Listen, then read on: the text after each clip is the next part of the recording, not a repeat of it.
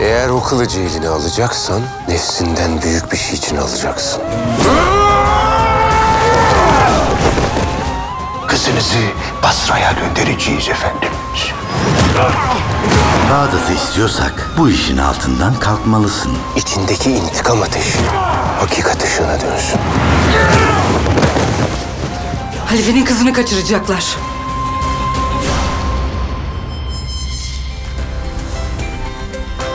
Mavera Ramazan ayı boyunca TRT 1'de.